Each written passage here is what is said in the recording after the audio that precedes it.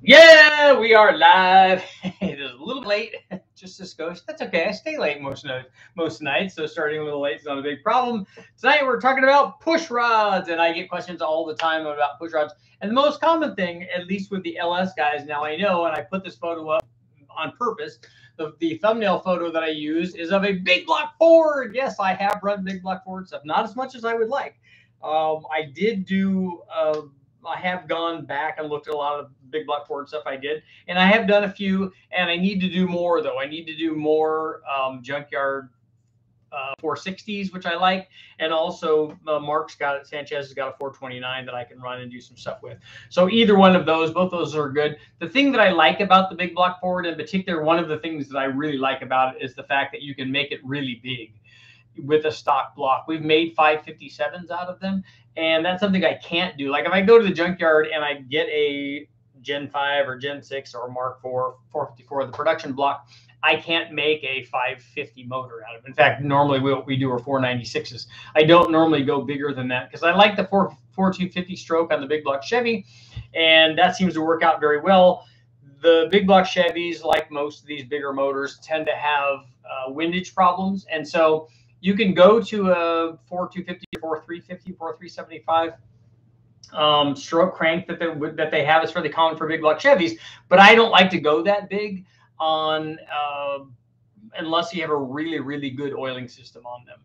And so normally the most common deal that people do on big block Chevys anyway is a 496. Uh, by contrast, a Ford going over 500 inches is not uncommon. In fact, it's more much more common than not doing that.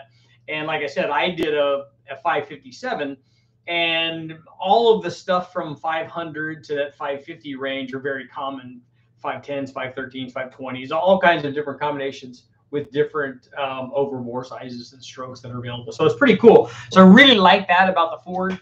Now obviously i don't think that the ford has the same kind of aftermarket support i think that's been enjoyed by the big block chevy but it is um, it does have enough and there's plenty of heads for them airflow research has Trick Flow, edelbrock i think has some. There there are lots of heads now for them it, much more now than when it was just stock or ported stock. You know you could run the stock heads or cobra jet heads or super cobra jet heads if you happen to be lucky enough to find those or ported versions of those. And there are guys out there like the heads that i ran from the guys that. um, Cam Research or MPG, they um, they really know Fords well. And like I talked about, their 600 horsepower package that they let me test made made right over 600, 610 or something like that. And so it, it obviously works very well. And they do ported versions of those heads and they respond fairly well. Now, aftermarket stuff, like I said, airflow research, flow, those kinds of things, that those are, you know, even even another level above that. And obviously, there are more race oriented heads um, for that stuff. Uh, Blue Thunder has, has, been making stuff for that. Obviously, Ford Racing has had stuff for those.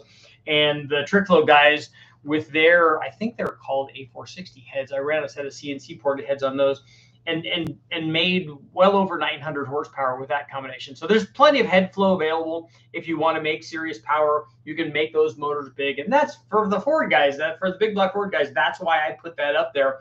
But the question for tonight isn't specific specifically about big block Ford stuff, although maybe we should do one later on. Before I get going, I'm going to put up my, um, so I promised a, uh, what was my, what was my, um, I had a good, um, I even wrote it down. I had a good poll for tonight. And I even wrote down. So if, somebody was here last night and they were and they remember what I told them at the end of the, I, I told them at the end of the stream last night. Somebody remind me what my what my poll was going to be. Um, I, I, can't remember. I wrote it down, but now I think I've taken that uh, that binder and I'm using it for something else downstairs. I just I didn't want to go get it.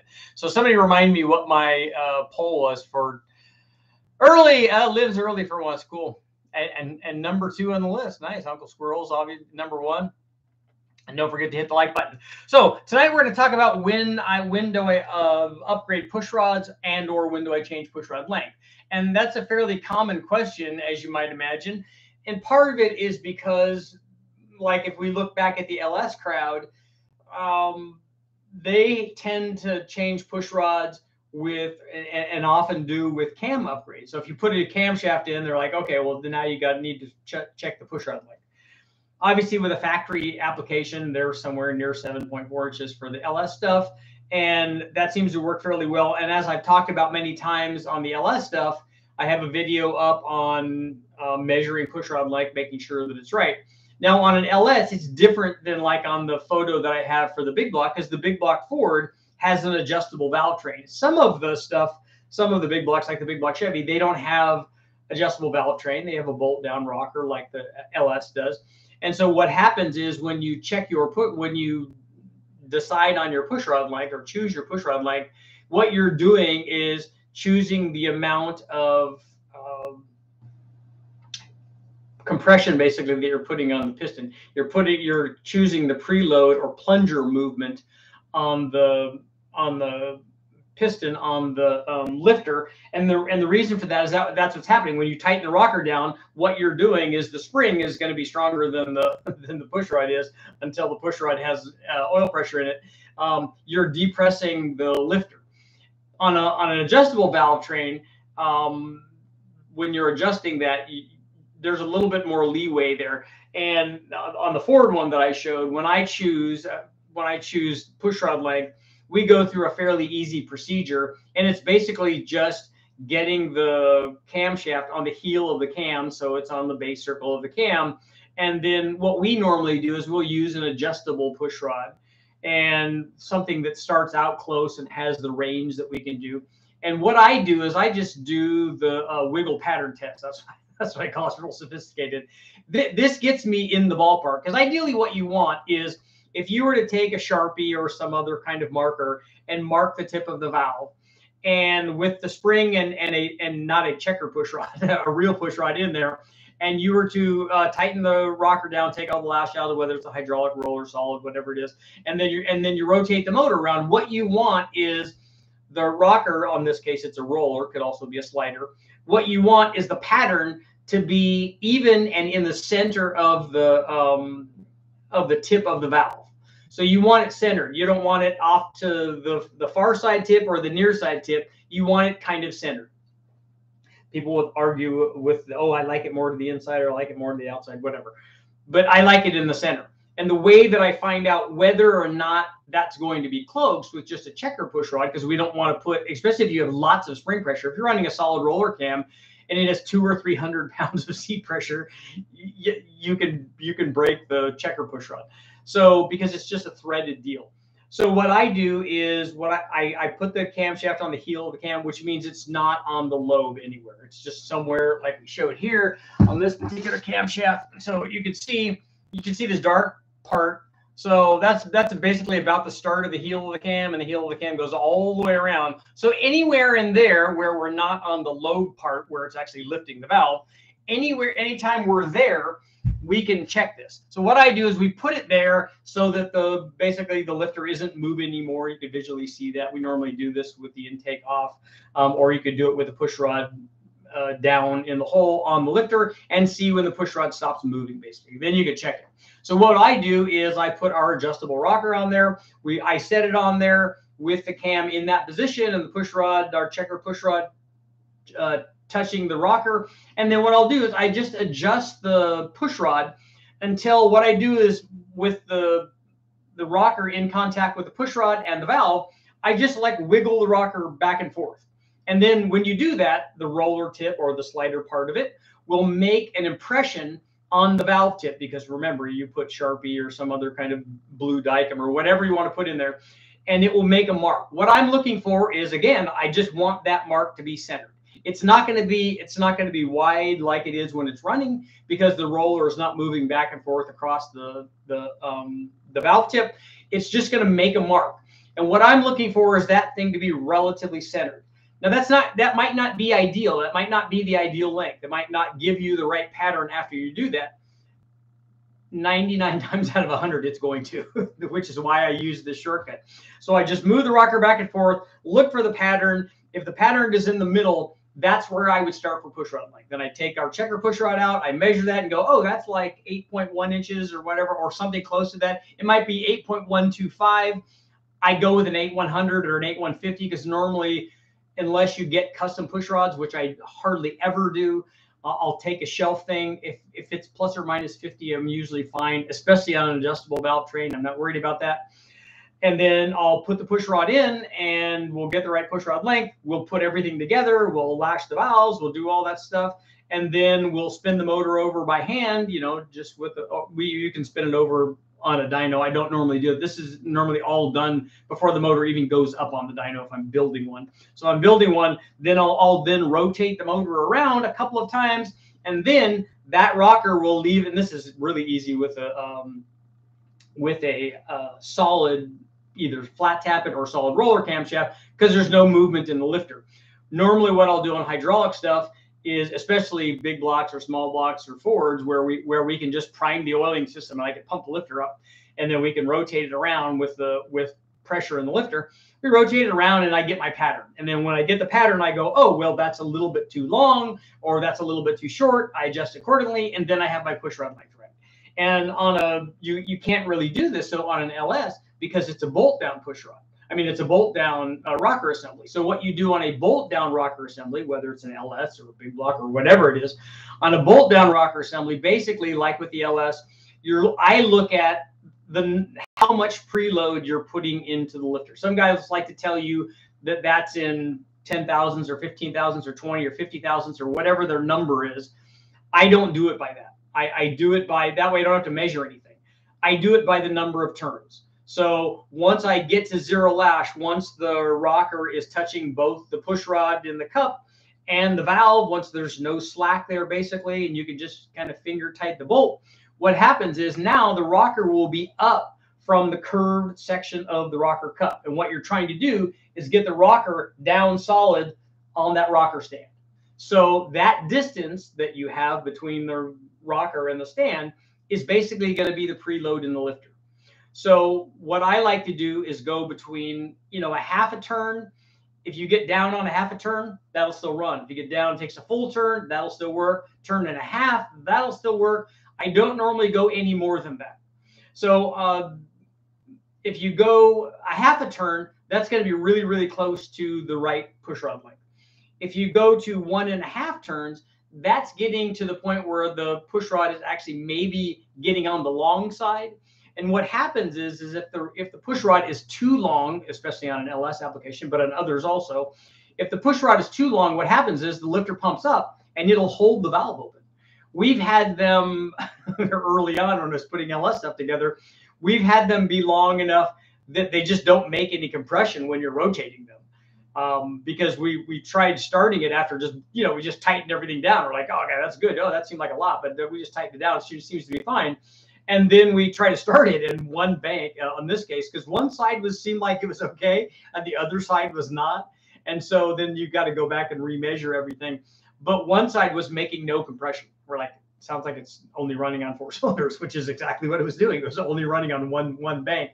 But if you if you compress them too much if the push rod's too long like on an ls or other uh, non-adjustable valve train stuff and the push rod is too long it will hold it can hold the valve open and then it, you won't get any compression. And, and so that's bad. You can also have it be where it's sometimes not and sometimes is and and and it could be intermittent um you know that's why i say in that range to a half a turn and we even run about a quarter of a turn it's just at a quarter of a turn it's hard to tell whether that's just the slop in the assembly or if that's actually if you're actually compressing the lifter um, and then after you do it once, unless you can pump that lifter back up, there might now be a quarter of a turn of slop in that because you've already compressed the lifter a little bit. So until that lifter gets pumped back up, it might have that much play. And now it might not feel like there's anything. So, and it's hard on an LS because we can't pump that up unless we crank the motor over like on the dyno and because it's a gerotor pump. Um, I've seen people hook pressurized systems up to that, like when they do pre-oiling on them. We don't normally do it like that. We do we do it by filling the crankcase with pressurized air when we first before we first start them. We seal everything off, put pressurized air into the crankcase, one or two pounds. That pushes the oil up into the pump, and then we hit the starter. No plugs in it. The thing spins over fairly fast. The pump grabs it right away, and then we see because we have a hard line going to a mechanical gauge on the dyno. It also goes to an electronic one that we see on the readout too, but it goes to a mechanical gauge. The line goes right out of the back on the LS, and it goes right to the gauge, and then we spin this thing over, and and normally what happens when we do it when we do that method, we see oil pressure almost immediately. I mean, it's a it's a few cranks and and, and it starts to grab the oil and, and start pushing it up. And so we spin it there on the starter for you know until we have 40 psi or so uh, cranking oil pressure. Then we know okay, it's it's happy enough and we can start it. Everything's got oil and stuff on it. Um, and that and that works out fairly well. But it's difficult to do that when you're doing all the adjusting on, on the LSF. It's not nearly as much of a problem on something that's already been run. Like if you ran a motor and then you change the cam, like we ran on the dyno, you run the motor, you change the cam, and then you go to put another cam in. Then you have to figure out whether or not, and we're going to talk about that right now. What things change whether or not you need to change your push rod length what what what things could have happened that would necessitate a pushrod change? One, we already talked about. Well, was the pushrod length right to begin with? So, did you are were you already in a position where you were dangerously close to hanging the valve open? Was the pushrod maybe already too long? Um, so then you need to shorten a little bit. But like uh, when we go to if we put a camshaft in, one of the things that can change whether or not you need a different pushrod is the base circle of the cam if the essentially that part that I was telling you about, so if this part here, essentially, if this part here is closer to this, um, then you've reduced that, and that's going to require a longer push rod. All cams, all aftermarket cams, are not, and some factory cams are even different from other factory cams. They're not all ground on the same base circle. So if you have a change in the base circle of the camshaft, if it's smaller, you're going to need a longer push rod. If it's somehow bigger, then which would be uh, much less common, I think, then you're going to have to go with a shorter push rod.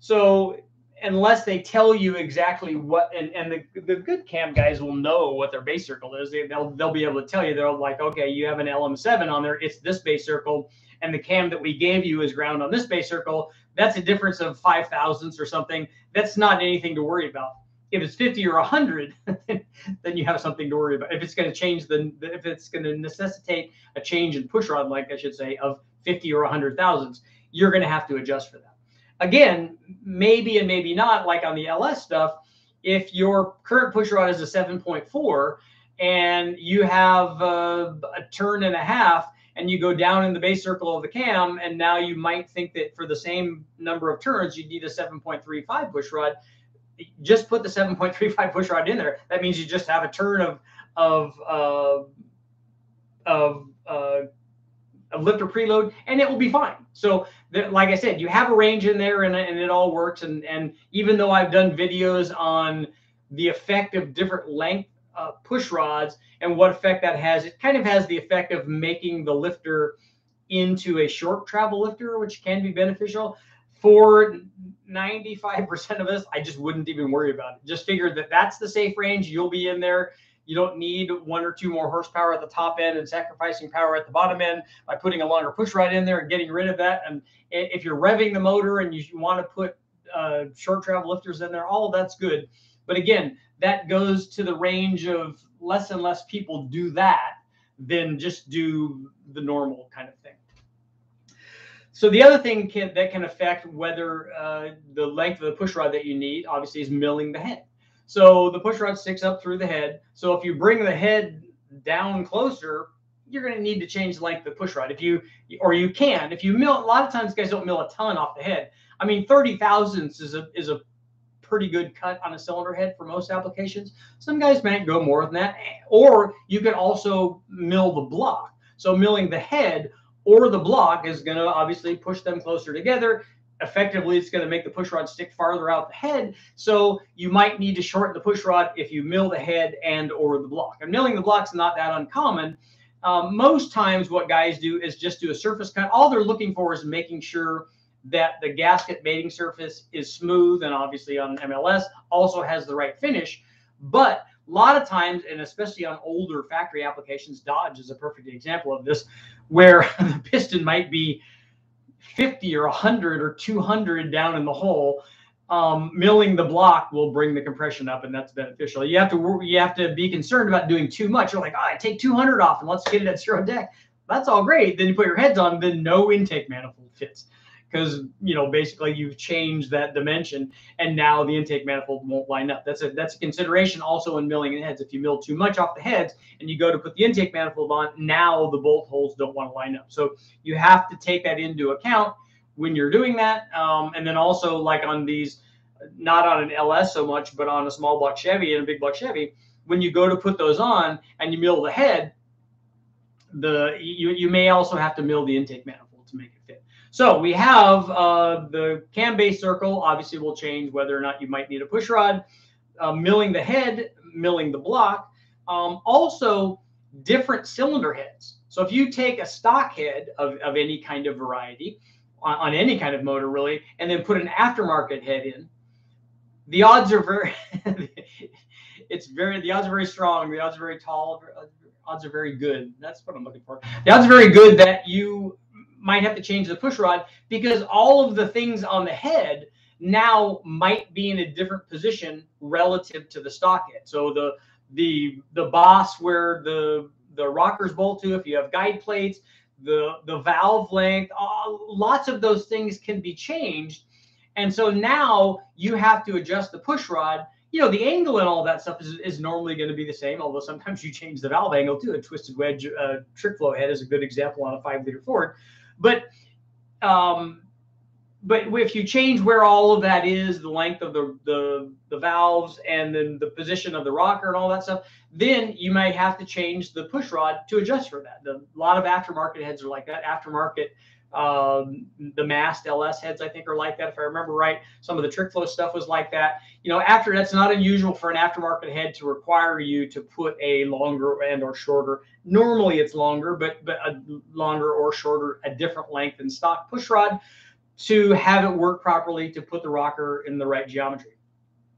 Normally, what they do is tell you that because if somebody, some aftermarket company, we we hope, but this is normally the case, if they went to the trouble of you know casting and machining heads and offering them for sale, more than likely they've put it on a car or put it on a motor and run it at least on the dyno and said, oh, when we put this on and we took our stock 882 iron small block Chevy head off and put this Edelbrock Performer RPM small block Chevy head on, we had to change the push rod. Let's make a note of that so that in the installation instructions it says, hey, you're probably going to have to go up hundred thousandths in push rod length. And, and even if they don't give it to you exactly, that's something you should check.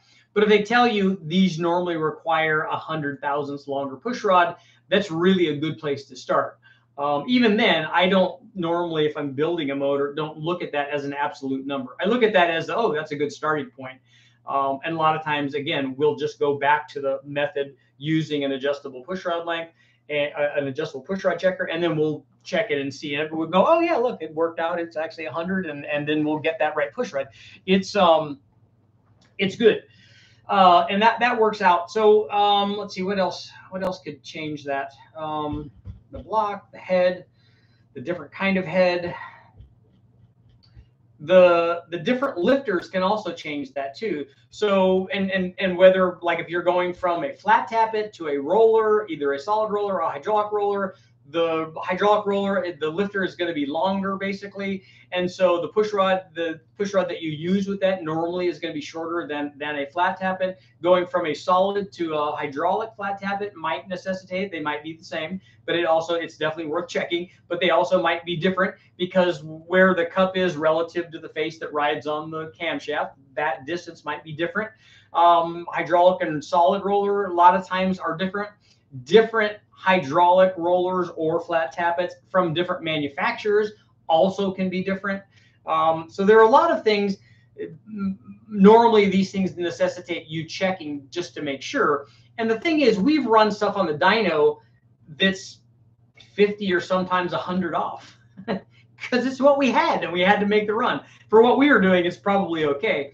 Um, but and, and like I said, I did the video on the LS swinging the push rod length. I think I varied it by 150 thousandths because I think we went from a 7.3 to a 7.450 or something something in that range. I remember that uh, a lot of times with and this is more often with adjustable valve train stuff that we go okay look that that uh, contact patch on there eh, not ideal but you know what this is what Brule always says you know what for who it's for meaning me it'll be fine. so so I get that a lot. Um, but it, but again, for the running it on the dyno, it's not it's not going to be a big deal. Before I, if I were to put it in a car, I would I would want to make sure that it's closer to being, you know, what I would call optimum, with it centered in the valve. And and somebody I think I was asking whether it's um, uh, the valve open or the valve closed. It's always with the valve closed. And that's why I start with that simple measurement, and then we do a dynamic one where we rotate the motor and get a contact patch, and then then it is opening the valve. And when it's opening the valve, opening and closing the valve, that's when the tip is you know moving moving across the valve tip and creating some sort of wider contact patch.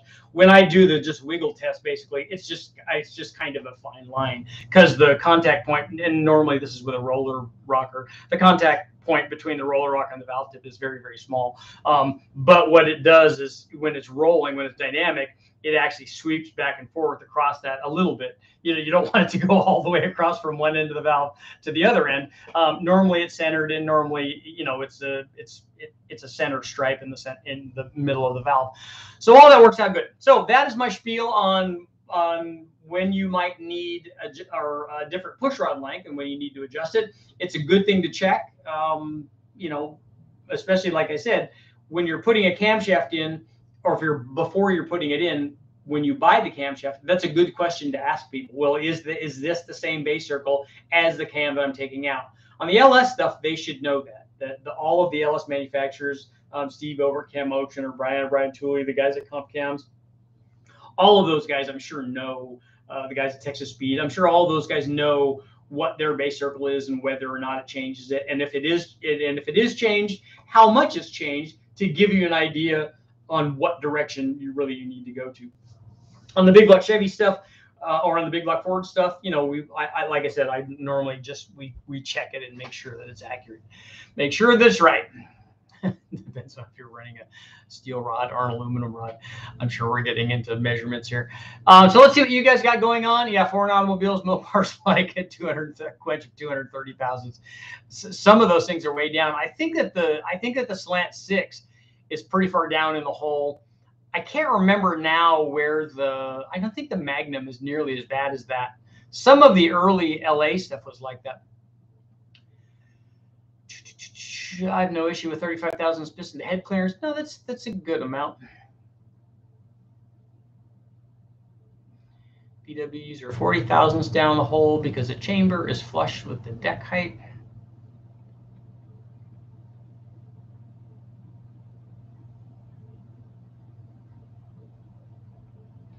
Just trying to look back and see if anybody had any questions.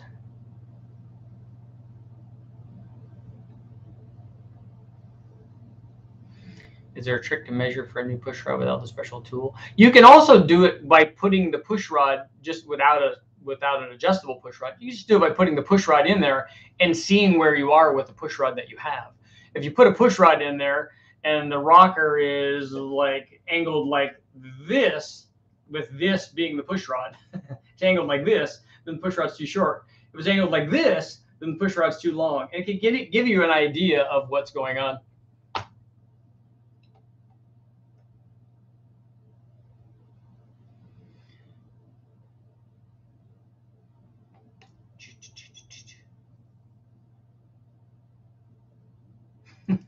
Engines always run best when the piston hits the head a little.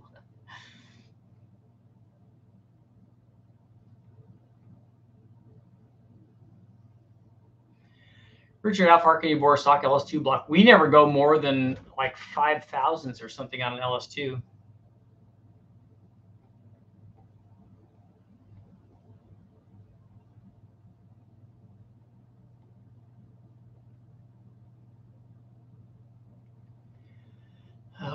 People talking about trunnion upgrades.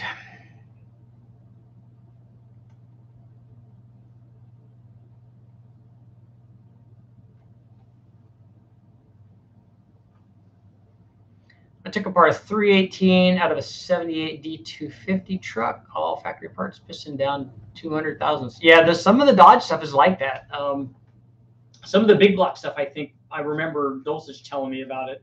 That um, because I've only ever looked at that one 440, and um, I don't remember measuring how far the pistons were down. But on the on the small one, though, it was definitely down.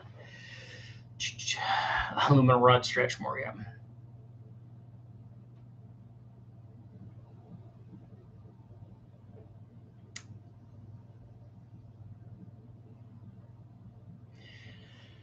Well, that's another good point. Uh, I always check push rod length after head block resurfacing or head gasket thickness. That can change it also, uh, although we don't normally see a big change in head gasket thickness. I mean, the common head gasket sizes for like an LS would be 41 and 53, somewhere in that range.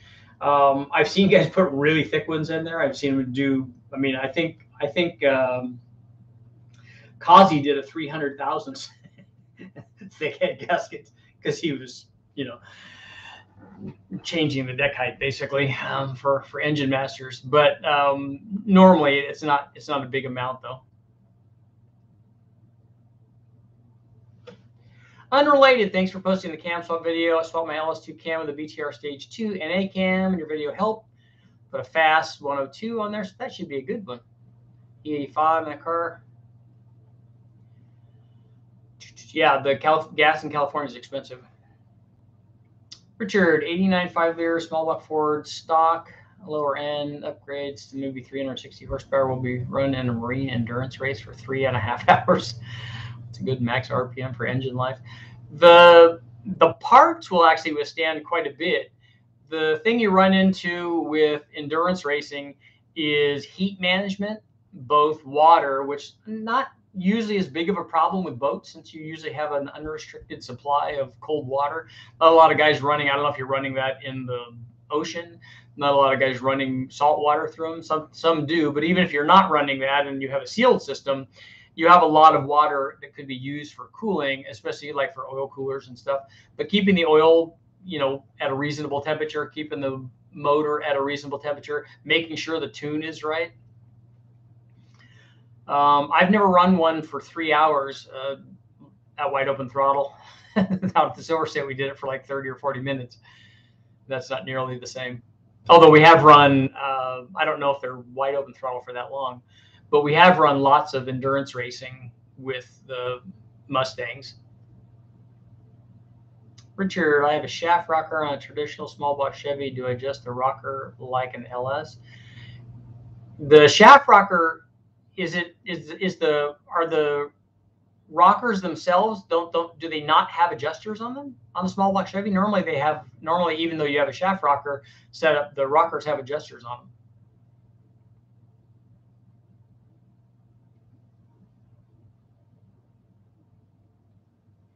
Your favorite part of the evening? Mine too. yeah, he does magic. I know, and he picks weird stuff and still makes a million horsepower. I changed my push rod length when I installed titanium valves with longer stems. Yeah, the the longer valve will definitely necessitate a, a longer push rod. And then if you put lash caps on them, that can do it also.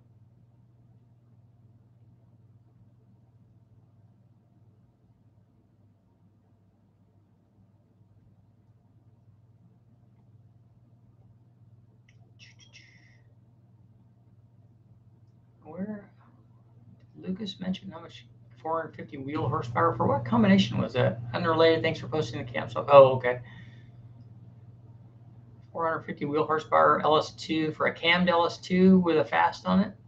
That's good. Let's see, Richard. I'm doing a 5-3 swap on my truck and putting a truck Norris cam in. What's the recommended springs and push rods? I, I don't know about the push rods. That's something you're gonna have to measure but the springs they should have a spring package available for that that brian now has they they just introduced their own beehive springs but they also have dual springs for that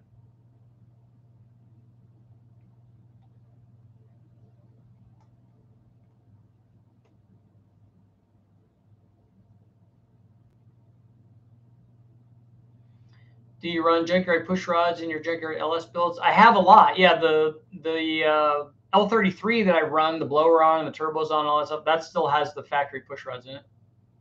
Where is the break point? I don't I don't know. There's no there's no I can't tell you that. Oh, at 601 horsepower, the push rod breaks. It's more a function of the spring and the RPM.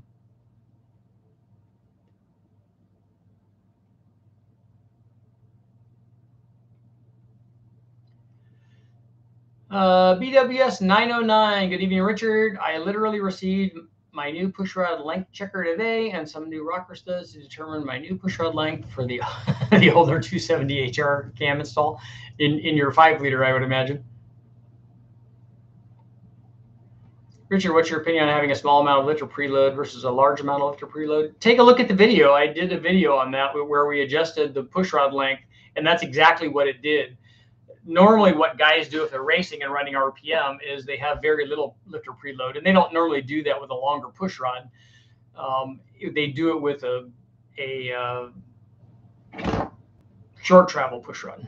It's it effectively does the same thing. What you're trying to do is get rid of what is essentially aerated oil, because if you've ever seen what's going on in an oiling system, um, it's not pretty.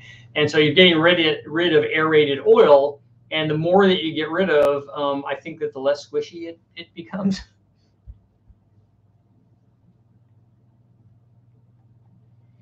At what point do bar lifters become necessary, lifter RPM or both? I, I don't think that there's an absolute number there. Given that guys have run, like with the LS stuff, they've run past 8,000 RPM with the stock lifter trays and, and, and hydraulic roller lifters, that uh, I don't know where the link bar becomes necessary. A lot of times for us, the link bar stuff is is a, is not a necessity. It's only the fact that that for some applications, that's all that they have.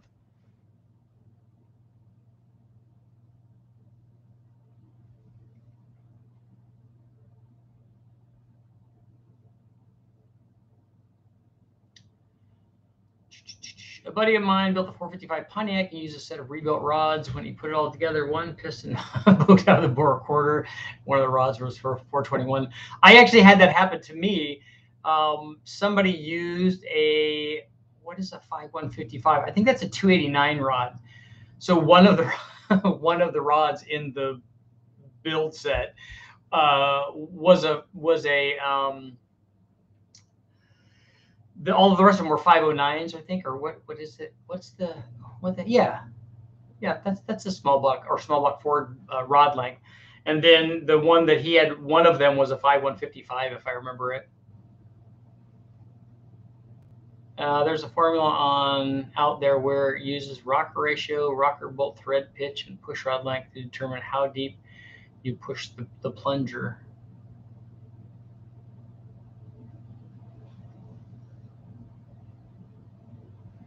Why, why would rocker ratio affect that?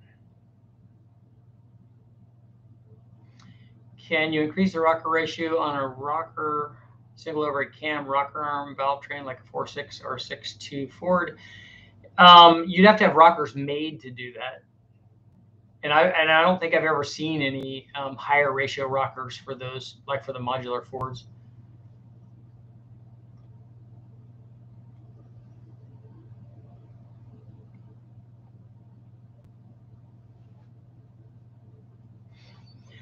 Trying to build an NA62 and there's no aftermarket yet. Sometimes it's hard when there's nothing out there. I, I don't know what the break point is. I, I, I can't answer that. I, I, know you're looking for something specific in the same way that people are looking for how much boost can I get away with on stock uh, ring gaps and stuff like and questions like that. I, I don't know what that is.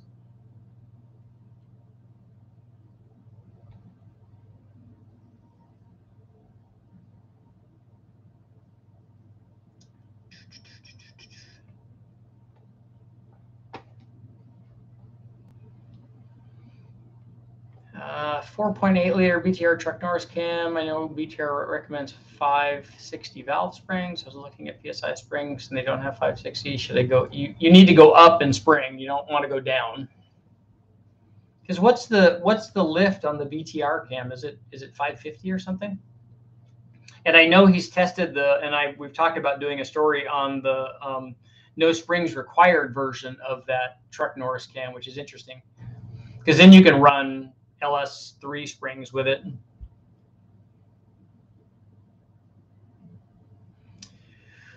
Oh, David, so you're gonna be running river water, nice, 160 degree thermostat, not quite wide open. That'll that'll be good.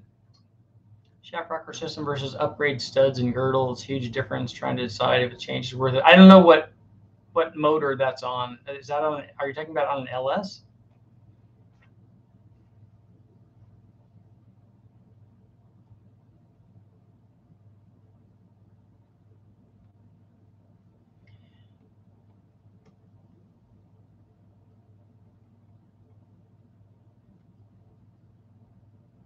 The BTR Truck Norris cam, they have a version that says no springs required. You cannot put a Truck Norris cam, a standard high lift Truck Norris cam, the 553 lift or whatever it is, with a with a five with a 706 spring on it.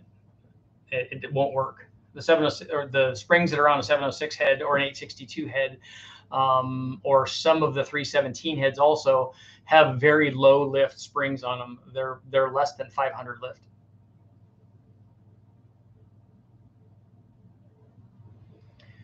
Uh, grooves and lands. I, I already um, told you how I test it. I, I don't use that method. It doesn't mean that it doesn't work. It just means that this is the way that I do it and it's worked for me and it continues to work. So I don't see a need to change it.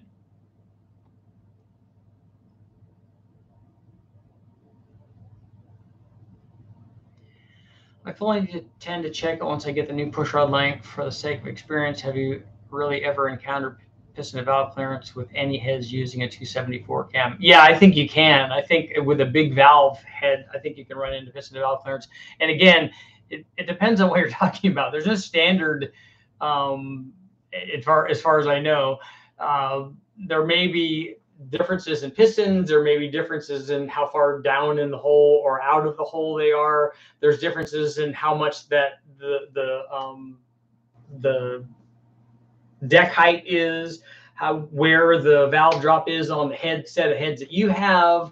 Um, you know, there's a lot of things that can affect it. That's why the best thing as you get closer, you know, there are lots of cams that will fit in there and never hit. A stock cam is a good example. You just put it in anything and it will work. But as you get closer and closer to the point where we know it's going to hit, anything to the high side of that, which that 274 cam definitely is uh, on small block Ford stuff, anytime you start getting close to that, I just check it.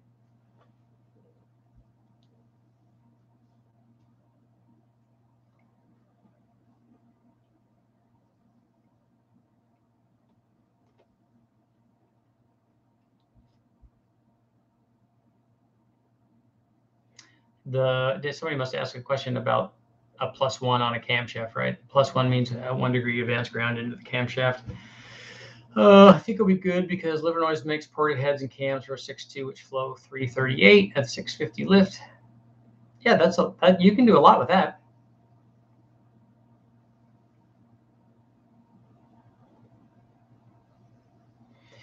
Yeah, one uh, Corey 111 is the LSA. That's not the same thing.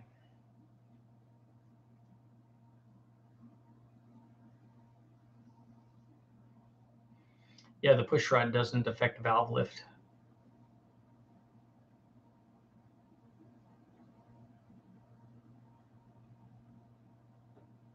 Nathan, question: With increased boost, increased power, you increase coolant temperature. Yeah, it has to process more more BTUs.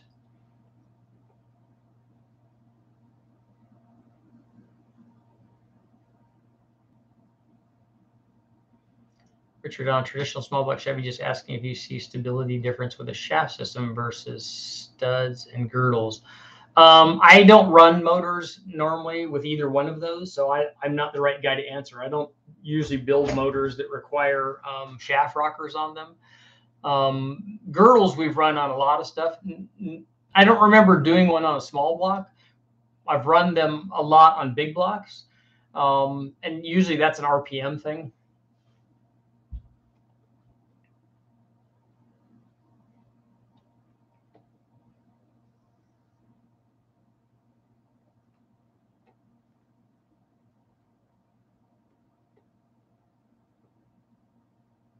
Jay, did, did anybody remember what the poll was supposed to be tonight? Because I don't. I don't remember.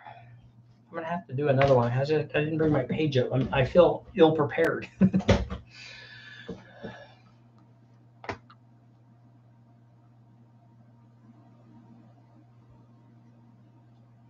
why would my G8 be overheating? Everything been done except temp sensor. Could that be it?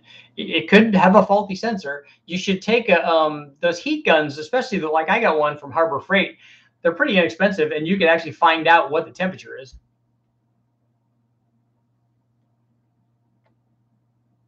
Any, any tips on keeping coolant temp down when leaning on the motor for more than 10 seconds? You, your cooling system should be able to do that. You should be able to run uh, like for instance, in the Mustang, on my stock Mustang, we ran the Silver State with the stock cooling system. Uh, and we found out that running it at lots of RPM, it didn't like that, but it liked running it like between 4,000 and 4,500 RPM in fifth gear. At in this case, when it was stock, it was like 147 miles an hour or so. Um, it liked doing that and, and never had a heating problem. So there's something going on.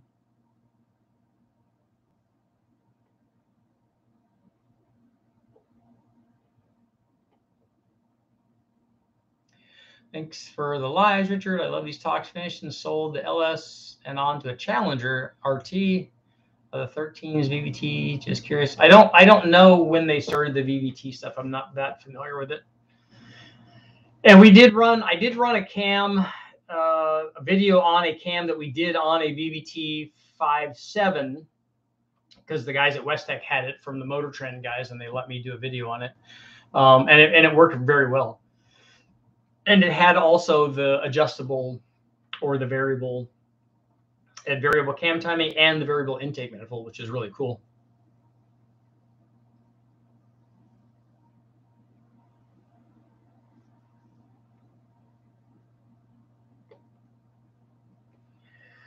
Uh, what are your favorite sounding Ford and Chevy motors? I don't know.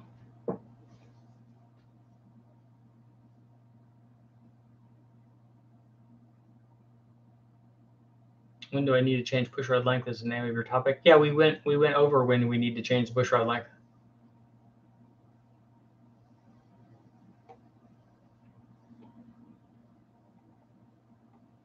We went over all that. When shopping for a turbo, say a 78, 75, not that it matters, there generally is two hot side AR options, for example, 96 and 1.2 far. What would influence the choice of one versus the other? How, how responsive you want it, and also the turbo sizing and your power needs relative to the displacement of the motor is the way that I look at it. So if I was a 78, 75, let's call that a 1,000 horsepower turbo if I was wanting to make a thousand horsepower with a 4.8 or a 5.3, I would pick the tighter AR. If I was wanting to make that same thing with a 6.0 or a, especially a 4.8 or a 408, then I would pick the bigger AR.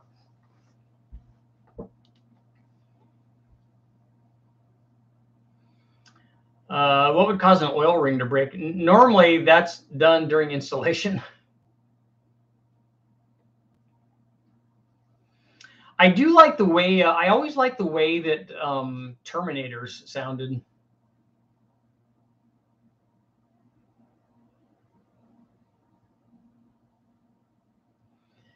Richard, do you have an estimate on horsepower loss to the drivetrain on manuals and automatics? No, because there there there are different manuals and different automatics and and different completely different drivetrains. Like the drivetrain on the one the example I always use is the drivetrain on a Honda is whether it's a manual or automatic that drivetrain is going to be completely different. It's going to lose a different amount, not just a percentage. It's going to lose a different amount than a you know Ford nine inch and a turbo 400, especially reverse manual valve body, yada yada yada, and and you know I don't know 40 inch off road tires and and giant 300M axles and you know like the like I said the nine inch and all that stuff. So the amount that you lose isn't a strict percentage.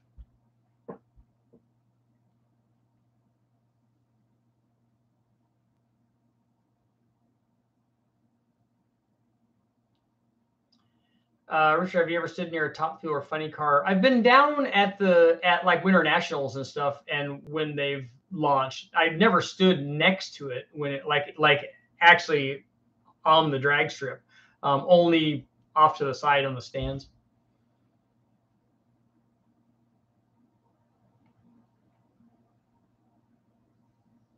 Uh, and happy help.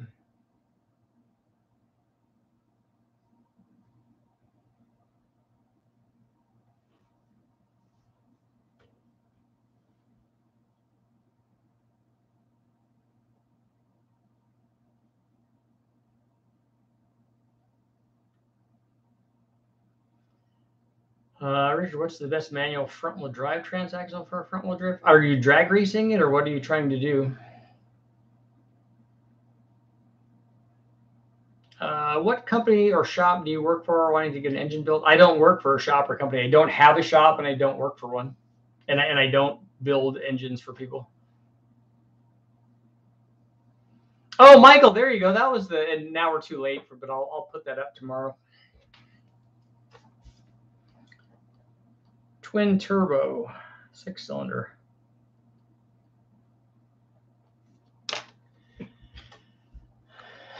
Gotta love open any questions.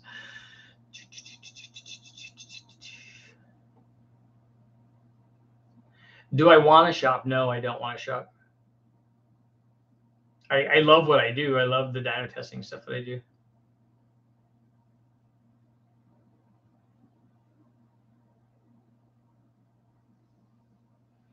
Is a Truck Norris cam the best daily cam for a six liter daily driven truck? I don't know about best. I don't know what your definition of best is. We'd, we'd have to have a lengthy discussion about what, what all the parameters are that go into your definition of best.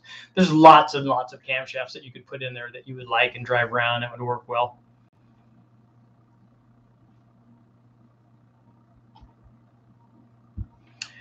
Uh, Richard, would you use a two bolt main big block? We do all the time.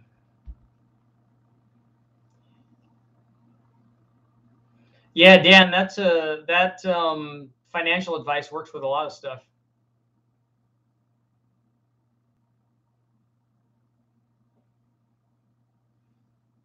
What's the normal compression numbers on a stock 5.3? The one I recently purchased is 225 or 230. That seems high for a stock one to me.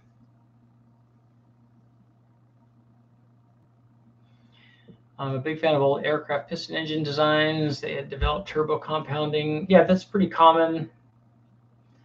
A direct exhaust to the turbine connected directly to the crankshaft.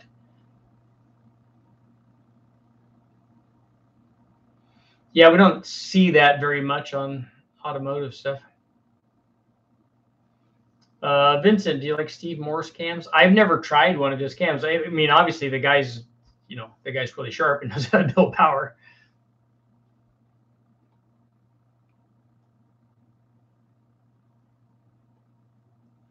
Uh, yes, Michael. Technically, there is a best cam, best cam for the LS.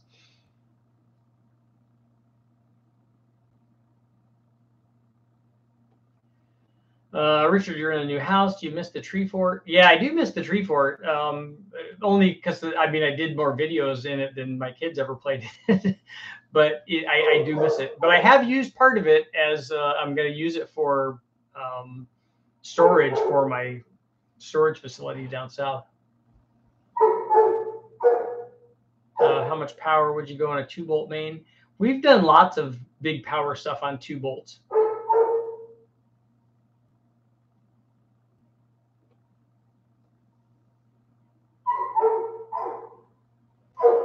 What's the max bore we take a 302 to? Um, I, I normally go um, 30 or 40 on those, and I don't normally go more than that. You'd probably want to sonic check it.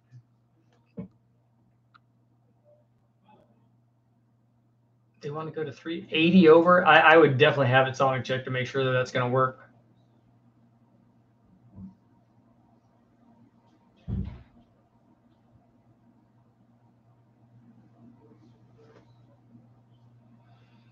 Yeah, Dan, it's a small world. Uh, what's up, Rich? I think you missed my question, but would a turbo cam spoolie turbo faster than an A cam? Well, first of all, there's no universal turbo cam and no universal NA cam. So it, you would have to ask specifically what two cams you're talking about. But the best way to understand that is which one of those cams, when you run the motor NA, makes more low speed power. And we showed this when I did the test of the sloppy stage two versus the truck Norris cam. The truck Norris cam made more low speed power. The cam that makes more low speed power when the motor is NA will almost always, I mean, it has every time I've ever tested it, will offer more low speed turbo response. So it's not an NA cam and a turbo cam. Just think about them as cams. Whichever cam does that will offer more boost response. Just like any other application, just like if we made like a 5.3 because it makes more low speed power, will have more boost response than a 4.8. And the 6.0 will have even more than both of those because it's bigger and it makes more low speed power. That's what you should be thinking about when you're thinking about camshafts. Yeah, the poll was supposed to be uh, six cylinder twin turbo stuff. So I'll make sure I put that up tomorrow night. Yes, every cam is also a nitrous cam and a blower cam and yada, yada, yada. I remember having that argument with um, uh, Jerry Magnuson, who I respect and went a couple of rounds with on the um, him trying to get me fired way back. But uh, I remember talking to him about that, and he's like, "Oh no, when you run these blowers, you got to run the, you know this kind of camshaft." I'm like, I, I don't. I, in my testing, it hasn't worked out that way. It's worked out that when you make more power NA and you put the blower on there, that it makes more power with the blower. And but you know that's sometimes we can't argue with people.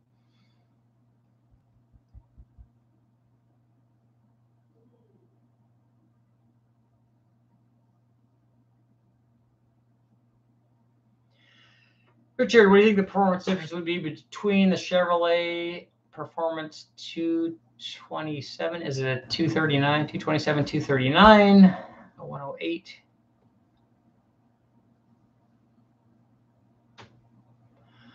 My guess is that the Chevy Performance Cam would probably have maybe more low speed power.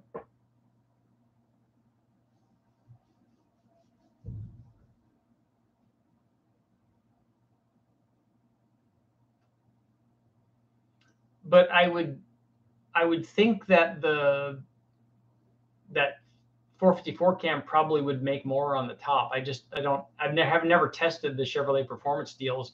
Um, I'm a little concerned with the lower lift. Um, I don't know that I don't know where the crossover would be, but I'm pretty confident that the 454 cam would make more peak power.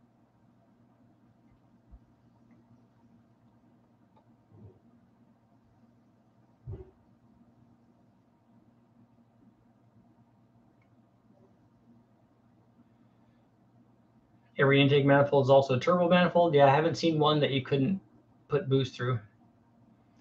What size turbo would you put on a street driver Ford 400? The turbo that you pick is going to be dictated by the amount of power that you want to make. So if you want to make a thousand, you pick a thousand horsepower turbo. If you want to make, you know, 500, you pick that size turbo.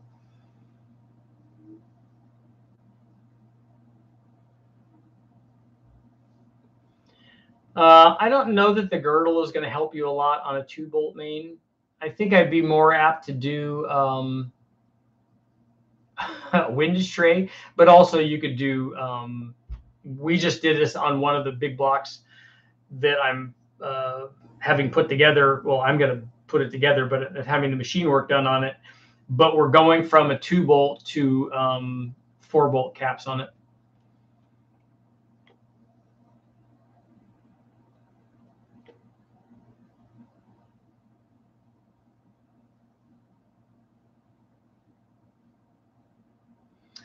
Uh, I remember Brian Tooley saying early exhaust valve opening helps spool the turbo. I, have never seen a camshaft that makes less low speed power NA spool the turbo faster.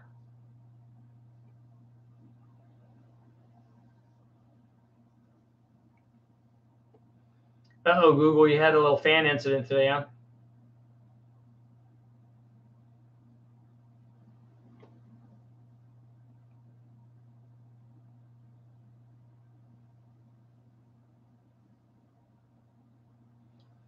You ever tested the reversion mufflers that circle truck guys run at the end of their headers?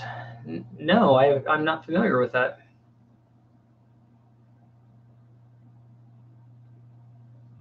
Nitrous does spool the turbo faster, but then nitrous makes more power, right? Anyone know if an LS3 intake needs low profile valley bolts? Not not from the factory, it doesn't. Would it be smart to put ARP studs and LS9 gaskets with intake spacers and Motion Raceworks steam vent kit and bigger radiator in my LS3 G8? Will that help drop temperatures a lot? You, you have some sort of issue with your cooling system. I don't or or the or the engine itself. But studs and gaskets aren't going to do anything unless you have a bad head gasket. But if you have a bad head gasket, not very often do I see somebody have a bad head gasket and there not be another problem. like it, the block needs to be resurfaced or the head needs to be resurfaced or something going on. An MLS gasket doesn't normally blow out and then nothing else is bad.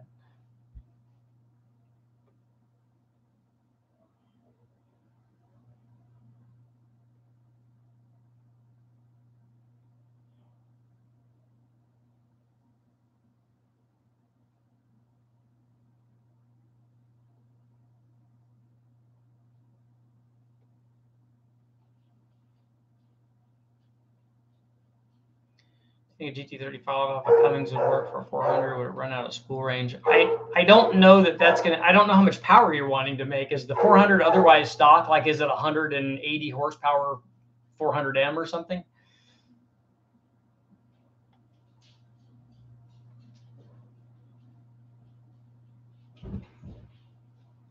My 383, my cam is a 112 plus 4, 242, 250. Cam. Cam advanced for drivability, and would I see a power curve change if I ran it straight up?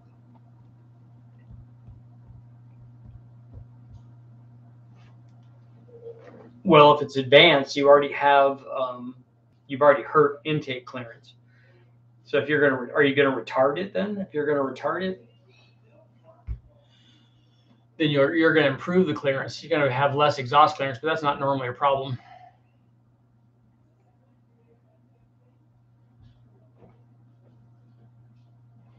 Having a massive vacuum leak, and the last thing I can think of is the valley bolts not allowing the intake to seat. I haven't seen a factory LS3 intake hit bolts, hit the um, valley bolts.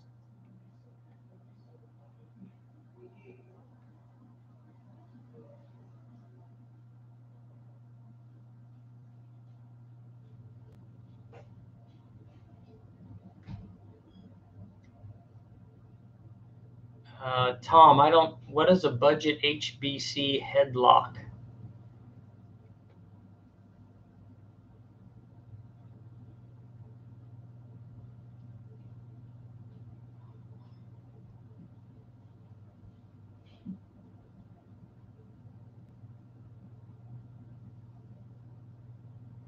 GT40 heads and flat top pistons, zero deck possible. How much cam lift would you need for valve release? The cam lift is not going to be the thing. The duration is the thing that you're concerned with, and you're going to have to measure it.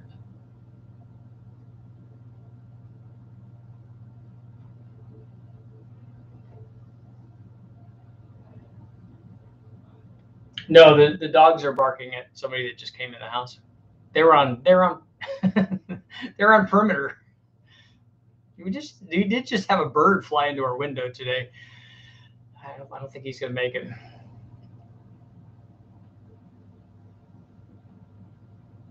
Do you have any idea when Edelbrock will come back on track? I don't know. I have had people complaining about um, customer service for them and for Fast. I don't know what's going on.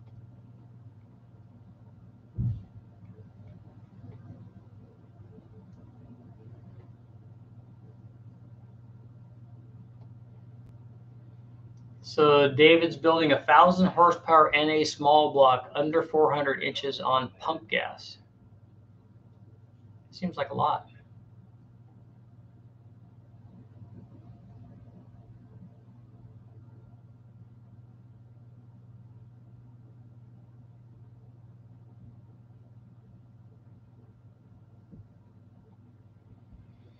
So Richard, you got a 427 now for your CTSV. I really like those cars. Those are cool. 64, 67s.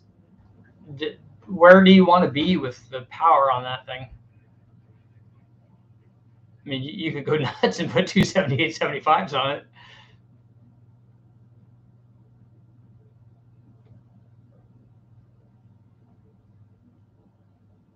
And the LS3 intake shouldn't leak. I've never seen those really seen those split. I mean, I've seen them blow up when guys nitrous backfire them. But uh, just yeah, make sure the injector O rings are brand new. Make sure they're the right size. Um,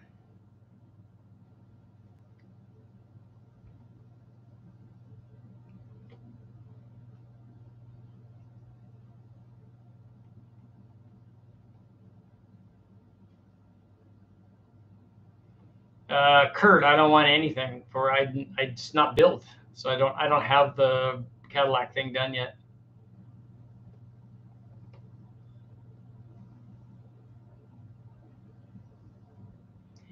Any issues putting one seven rockers on LQ9? No, I, but I don't recommend it. I, I, would recommend a camshaft over rockers on that because the um, and, and if you put rockers on it, you're gonna have to put springs on it because if you don't have um, if you got a stock cam and stock springs, one seven rockers, you're going to get into valve float.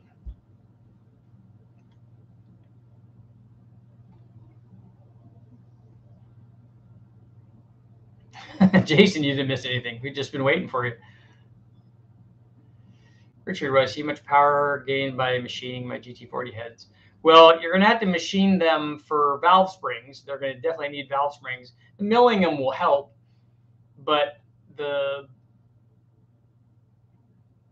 I wish I had measured the available piston to valve clearance with the GT40 head and then figured out because what I would want to know on that to answer that question is I'd want to know if we mill the head 10 or 20 or 30, how much piston to valve clearance do we do we get rid of? And now is that limiting the kind of camshaft that I could put in? Would I rather put more camshaft in or get the compression? And maybe that's not even a question. Maybe the amount that we're doing it isn't really going to affect it that much.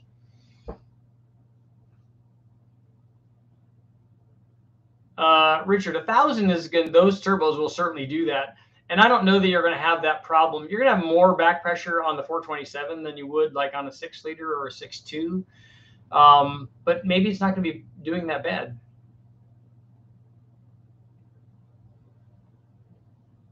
Seven eighty ones and 049s make 550 horsepower in a big block. Yeah, I, take a look at the video that I have up on the oval port head test and you can see what, what we did on some of the big block stuff. I ran some ported 049s and I also ran stock ones and you can kind of see.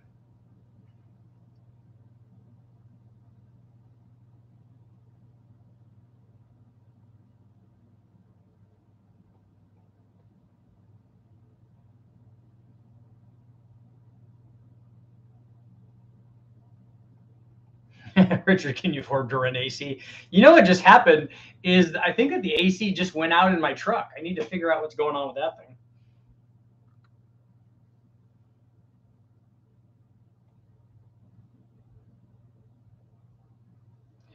Uh, Jay Moore, I wouldn't put rockers on it. Um, I don't think you need it.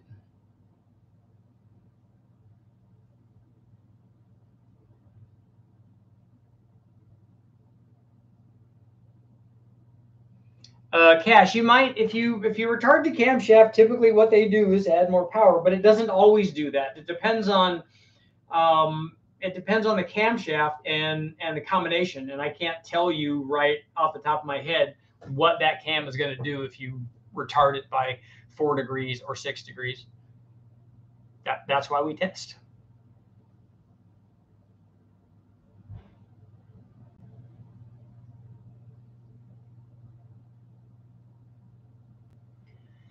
Gen 5 44 millimeter Turbosmart wastegates, a Turbosmart eBoost controller. I like the Turbosmart stuff. Those they're good guys over there, and they, their products are really good.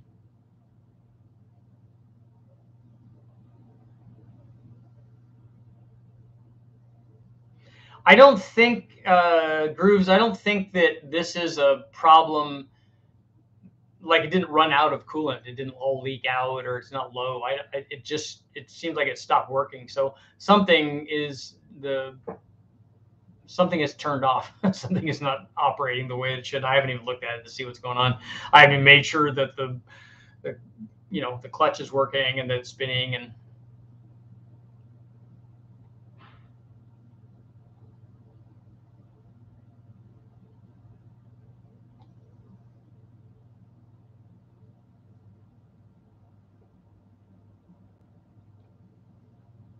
used a 50 thousandths exhaust duration issue with GT40. 50 thousandths exhaust duration? Does, does duration come in 50 thousandths increments? Uh, he was asking about lift, and lift isn't the concern when you're talking about piston to valve clearance. It's it's duration. It's how long you hang the valve open.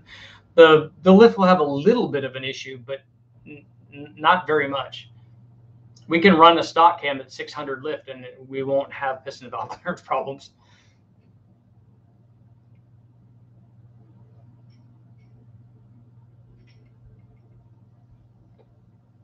Uh oh, they're getting tricky. I'm going to clip some wheels now.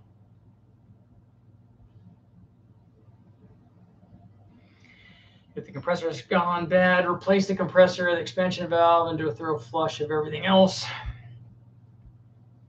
Is proper quench better than the effective compression pressure? I don't know that you're juggling it that much. The, the when we when people want to talk about quench, the, and I've got to get going, but the, when they talk about quench, what I really envision is is piston to head clearance, and I'm more concerned about that. I don't want the head to hit the piston and the or the piston to hit the head, um, and so that's going to give us, you know, somewhere in the thirty to forty thousands quench normally is is kind of where it is, unless like what we are talking about, like with a Dodge, where it's 200 down the hole. Then you can run whatever camshaft you want, and you don't ever have to worry about piston to head interference or piston to valve interference. Um, but the quench kind of works itself out when you do that, and then so does the compression. Um, I normally don't try to juggle the compression based on those things. The compression, if I'm deciding on compression on a build, I don't do that based on those two things. I base that on the the where the piston is in the hole, and then obviously, like I said, I want that safety margin of where the piston and the head are. That I need that distance. Um, I care less about the quench than I do about however I'm shaping the piston and the combustion chamber so that I get the compression that I want.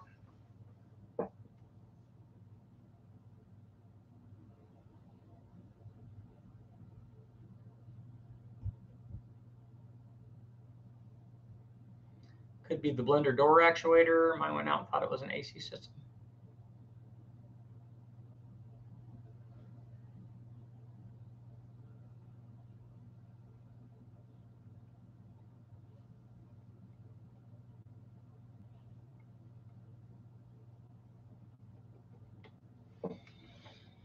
Okay, one more question.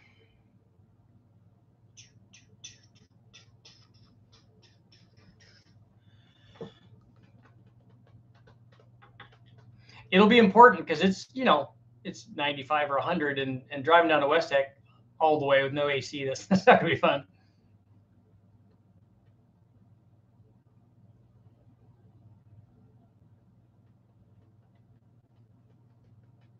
I think when the AC goes out in the truck, it's just time to buy a new truck, right?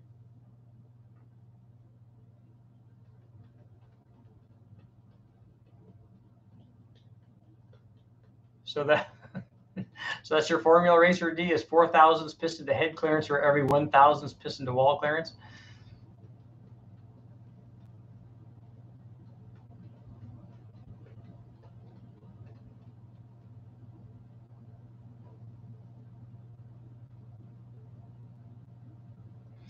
the volumetric efficiency doesn't affect the engine. Your engine combination is going to dictate the volumetric efficiency. Did you see if the AC belt is there? I I think all those are run on one belt, right? Maybe maybe it's not. I don't I don't ever run those on the dyno.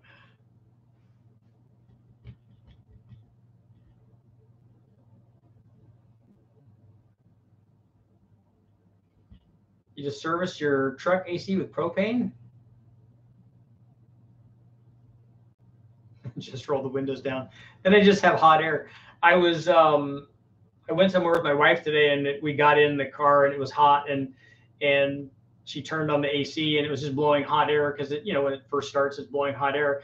And I said, so I just want to let you know that remember when I was driving the Chevy Sprint Turbo from Vegas out to Westech, I said, and I had the fan on because it didn't have AC, it just had a fan. I said, this is what it was like.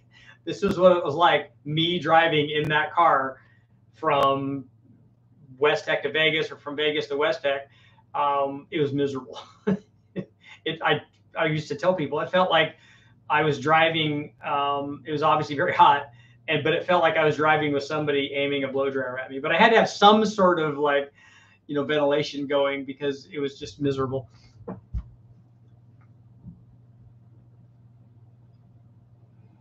Uh, would you give it your AC for more power? I wouldn't in my truck because I don't really don't care how much power it makes. I don't ever race anybody in it. But I did give up my AC on my Camaro and on my 240Z and on the Sprint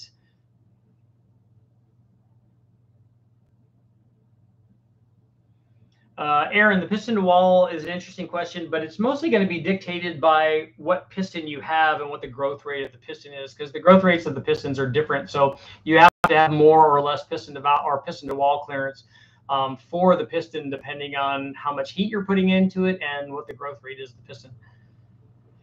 Uh, Richard, what was the top speed of your five liter before you hopped up? When it was when it was all stock, it went 140 I want I need to go back and look and see. It was either 143 or 147.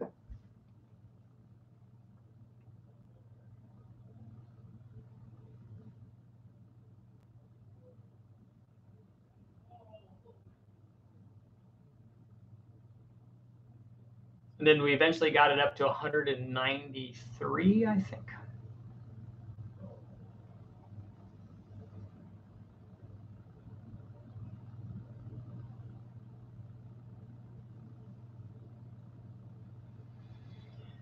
Okay, guys, I got to get going.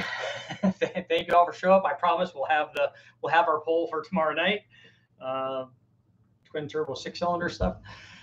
I don't. I don't. That's what happens. I have my stuff in front of me, and then I take it because I use it, and I was going over more information, and you know that, that happens. Thank you guys all for showing up. I will see you all tomorrow. Bang, bang, zoom to the moon, Alice.